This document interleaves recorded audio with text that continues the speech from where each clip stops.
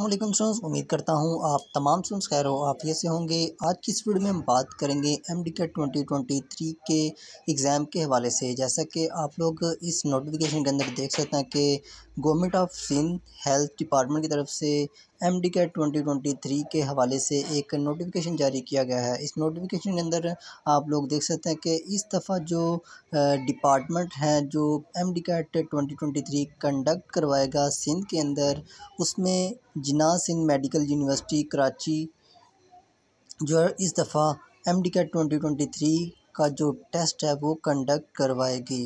इसलिए vice chancellor जना Sindh medical university Karachi ने एक पीएमडीसी को रिक्वेस्ट भेज दी है कि आप लोग हमें उन तमाम सेंटर्स की लिस्ट भेजें जो कि सिंध के अंदर अवेलेबल है जिधर एम डी का ट्वेंटी ट्वेंटी थ्री का एग्ज़ाम होना है। तो इस हवाले से जितने भी सिंध के तलबा तलबात हैं, उनके लिए ये अपडेट है कि आप लोगों का इस दफ़ा जो एम डी का ट्वेंटी ट्वेंटी थ्री कंडक्ट करवाएगी, वो जिना मेडिकल यूनिवर्सिटी है।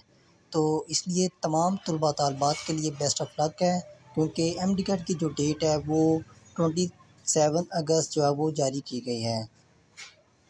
एजुकेशन के हवाले से ये एक लेटेस्ट अपडेट थी जो कि आप लोगों के लिए शेयर की गई है। अगर आप लोगों को ये लेटेस्ट अपडेट अच्छी लगी तो इस वीडियो को लाइक कर दीजिएगा। हो सके तो शेयर भी कर दीजिएगा। अपना बहुत सारा ख्याल रखिएगा। अल्लाह हाफिज़।